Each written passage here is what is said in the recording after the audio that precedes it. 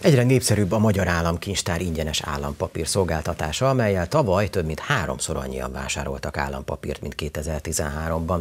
Ez idő alatt a kincstári ügyfelek állampapírállománya a négyszeresére nőtt.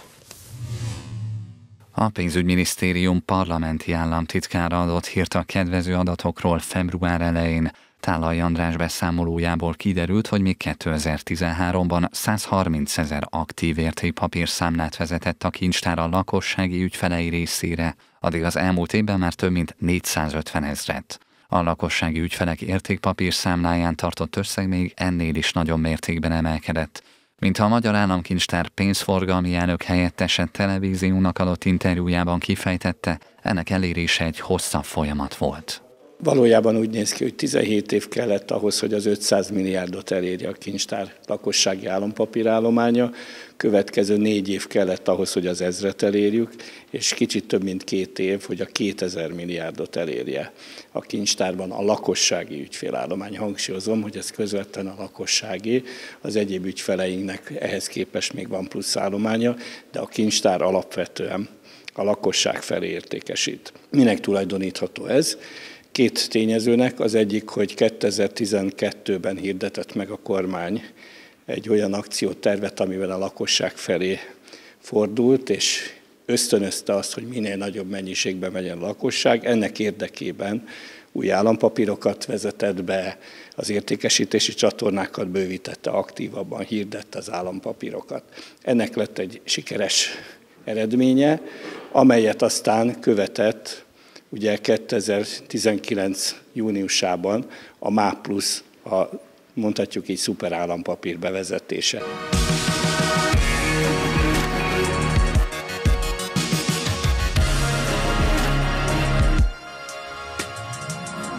Kitartás, elhivatottság és sok munka. Ez a sikered alapja.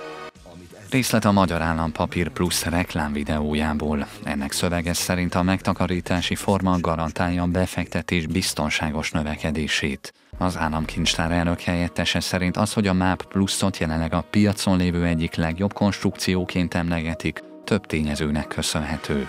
Az egyik, hogy mint említettem, 2012 óta próbál a lakosság felé közvetlenül fordulni a kormány és a pénzügyi vezetés. Ennek kapcsán több állampapírt kibocsátottak, amiről úgy gondolták, hogy sikeres lehet a lakosság felé. Ezek sikeresek is voltak, csak az lett a következmény, hogy sok-sok értékpapír volt, amiből már nehez, nehéz volt választani. És ehhez képest az volt a nagy gondolat, hogy összegyúrja a pénzügyi vezetés ezt a sokféle egyébként népszerű értékpapírt, hiszen az öt éves MÁP plusz Magyar Állampapír plusz kötvény az fölbontható valójában egy fél éves, egy éves, egy két éves, egy három és egy négy és egy öt éves állampapírra. Ami még sikeres benne természetesen az, hogy ez egy fix kamatozású, tehát könnyen érthető a konstrukció, és a másik, hogy a hozama, amit kínál, és így a, egyébként a kamatok is meglehetősen magasak. Tehát a népszerűséghez azért nem, nem elég, hogy nagyon kedvező konstrukció legyen, hanem nem mindegy, hogy mekkora hozamot biztosít. A Magyar Állampapír Plusznak nyomtatott és dematerializált változata is elérhető. Mind a kettőnek van előnye meg hátránya, hiszen az elektronikusnak az egy nagy előnye, hogy nem kell vele foglalkozni, ugye az biztos helyen van például a Magyar Államkincstárnál, mint értékpap- az ottani értékpapírszámlán. A, aki pedig szeretné kézbe fogni az értékpapírt, az pedig akkor a nyomtatottat választhatja, ennek ugyan van némi kockázata, ezért javaslom mindenkinek, hogy aki megvásárolja a postán a nyomtatott, nyomdai úton elállított Magyar Állampapír plusz, az első dolga az legyen a sorszámokat, minden értékpapírnak van egy sorszám, azt írja föl. Mert hogyha esetleg elveszik vagy ellopják, ha megvan a sorszám, akkor letiltathatja, és később, ugye nem rögtön, de később megkaphatja az ellenértéket. A MÁN plusz a többi állampapírhoz hasonlóan az államkincstár mellett a kereskedelmi bankokban, a postákon és a fundamental lakáskasszán keresztül vásárolható meg. A kincstár részesedése egyébként ezen a piacon ugye hét, hétről hétre változik, 25 és 30 százalék között vagyunk, tehát mondhatom nyugodtan, hogy meghatározza a kincstár szerepe a lakossági értékesítésben. Miközben a magyar állampapír plusz és azért a baba kötvény is egy jó nagy szeletet hasít ki a megtakarításokból. Hallani, hogy azért a prémium magyar állampapír és több más állampapír forma viszont nagy mértékben csökkent, illetve nem bővült az állományuk tavaly. Ez minek köszönhető? Az, hogy inkább az új fajták felé fordulnak az emberek, vagy mitől lettek ezek kevésbé népszerű formák? A, az új fajták felé fordulnak, egyrészt már ez volt hirdetve, ugye azért ennek mindig van szerepe, hogy melyik az, ami, amit sugal a média, hogy ezt érdemes venni. A másik az, hogy úgy lett beárazva a magyar állampapír plusz, hogy egy kicsit többet hozzon, mint a, mint a, a hagyományos, korábban is értékesített prémium magyar állampapír.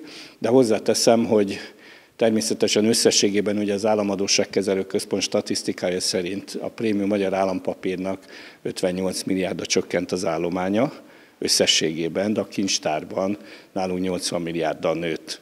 Tehát azért az a, az a gyakorlat nálunk, hogy eladunk hetente 15-20 milliárd MÁ pluszt, és azért egy ilyen 2-3 milliárd prémium magyar állampapírt is. Ugye ez egy döntési kérdés, hogy ki miben bízik, az infláció föl fog menni, vagy inkább a fix kamatot szeretné választani. Ugye aki az inflációt várakozásaiban erős, akkor ő inkább a prémium állampapírt vásárolja meg.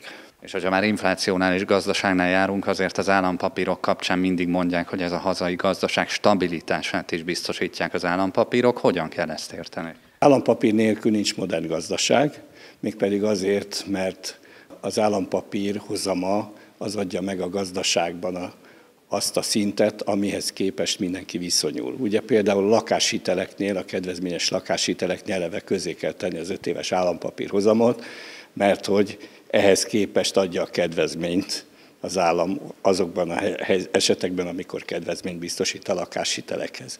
De egyébként is ez az a fogodzó, amihez mindenki hozzá kapcsolódik. Ugye az államadóságkezelő központ minden nap kétszer közé teszi, hogy a, a nagybani állampapírpiacon milyen hozamok alakultak ki, és ez az irányadó mindenki számára. Ez olyannyira fontos, hogy annak idején, amikor a Észtország, Lettország és Litvánia kiválta akkor már a független államok közösségéből, akkor ők nulla adóssággal vágtak neki, ők is bocsátottak ki állampapírt, pont azért, hogy legyen egy irányadó hozamszint, ráadásul a másik nagyon fontos, hogy legyen egy stabil, biztos, a legbiztosabb befektetési forma, hiszen ne felejtsük el, hogy a befektetési alapok biztosítók is azért, hogy a, az általuk kezelt vagyon egy része biztosan megtérüljön, kötelezően állampapírt kell, hogy vásároljanak. Február elején nyilatkozatában a pénzügyminisztérium parlamenti államtitkára is kitért a lakossági állampapírok gazdasági előnyeire. Mint mondta, a lakosság mellett az ország versenyképességének további javításában is kiemelkedően teljesítenek, és az ország külső sérülékenységét is csökkentik.